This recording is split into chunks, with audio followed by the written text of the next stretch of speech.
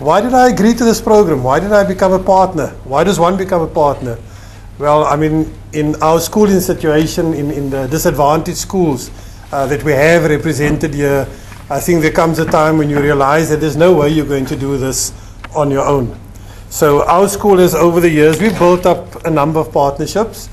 We have a partnership with um, the uh, social development section of the University of, of Cape Town, where we have second, third, and fourth year social work students who do approximately 16 weeks of practical work at the school. Uh, if you come from this type of community as we have represented, you'll know how important it is to have social workers at your school so often. Uh, and it's amazing the difference they make.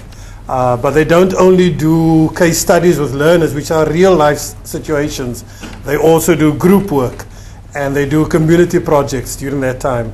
So, this is one of our big partnerships that we have. Uh, we partner with two church organizations in our area.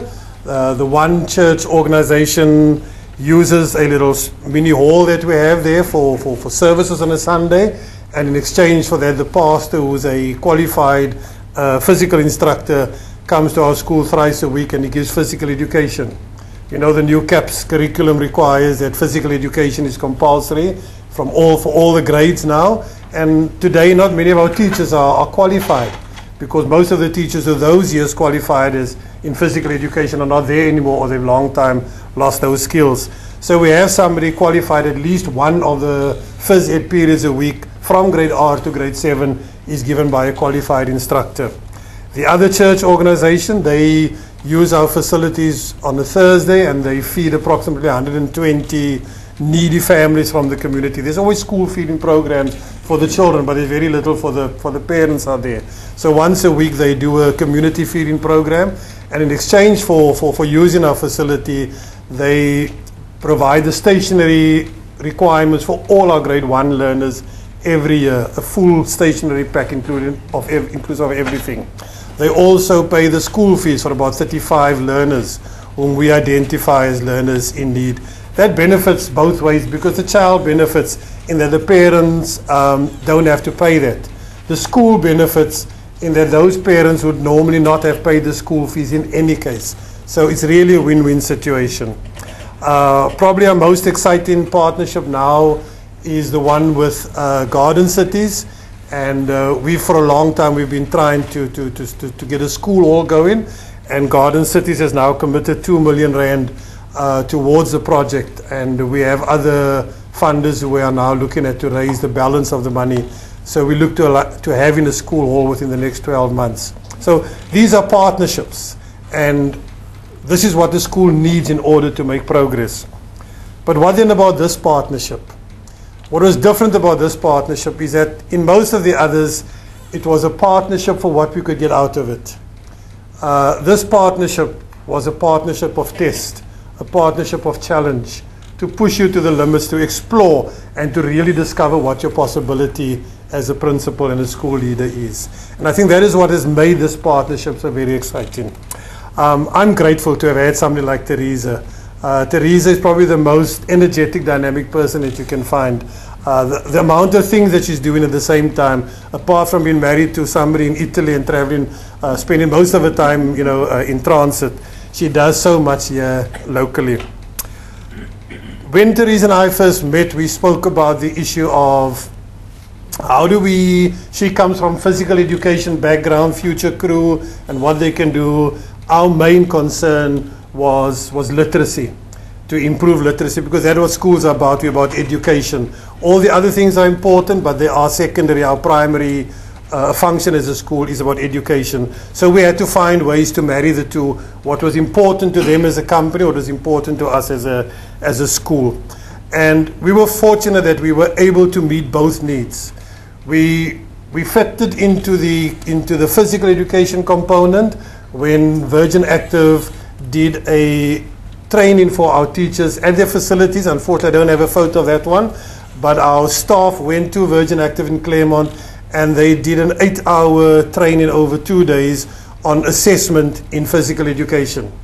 This was something very important because it was an area which many of our teachers were uncomfortable with. And because Virgin Active had the experience for that and, and, this, and the expertise, they could do a training which could help our teachers and set them on the road for, for understanding assessment because it was done by their youth coordinator who works with many schools and who consults with them on, on, on that. Yeah. The second area then was in the area of our SIP, uh, which was to improve literacy.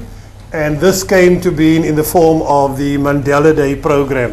What you see here is I don't know how many of them were there on the day, but this is the staff of Virgin Active who came to the school and they divided themselves up into groups. And uh, there's some slides of different group activities happening in a classroom. So they were reading or they, they could identify any form of literacy. Uh, some would just read to the children, some would have the children read to them, some would do, they bring little books and children could write in there uh, or they do play acting or any form of activity around literacy in the different groups. And at the back there, you see the two teachers. You know, they just can't believe that for today, we don't have to do anything. We're just sitting back and somebody else. And the children are certainly enjoying it very much. And that's just another group. And I wanted to say that it's not about males or females coming to small children. You know what I mean? This was a gentleman from Virgin Active and he's interacting with grade three learners and he's totally comfortable. You know, in our school environment, the sociology of school, we want to believe that, you know, grade one, two, and three, they need ladies to come into the classroom and, and those kind of things. And, and, and these, the gentleman was very comfortable with that group of children. But this also didn't end there because part of our organization is now part of what the social work students are doing. They are looking at starting a Shine Center. Many of you may be familiar with it. Uh, supported by Life Matters, uh, we are in the process of starting a Shine Literacy Center at the school. The Shine Center operates lots, uh, very much on volunteers, and many of the people from Virgin Active want to become involved with the schools. They can't come there every day, but they can give one or two hours a week to help a child. And so we, we look to draw in most of our volunteers for the Literacy Center from Virgin Active together with some of the other uh, organizations that Life Matters and the Shine Center already brings into the, into the school. So that is very much in, in terms of our component, what we needed, which was the, the literacy. Another activity, as Theresa mentioned, was having Ashwin Willems and Radio Good Hope at our school very early in the year. Um, and this was for, for the launch of East Techie Friday. Um, Ashwin and the Green Smile Foundation raises funds to provide children with techies uh, so that children can participate in sport because what they picked up, many children want to play soccer or they want to run, but when you see what they're running, they're doing cross country in or what kind of shoes they, they, they, they're participating in. So the Green Smile Foundation is all about uh, raising funds to buy techies and to, to give these to children in need. I think there's another one I'm not sure. Yeah. Um, these, this is just some of the activities there. A Virgin Active brought one of their facilitators, and while we had Good Hope and Ashwin there, they did the Grade R's and they did a whole program just for the for the Grade R's. And the community was there, and parents were seeing their children involved in the physical education activity there.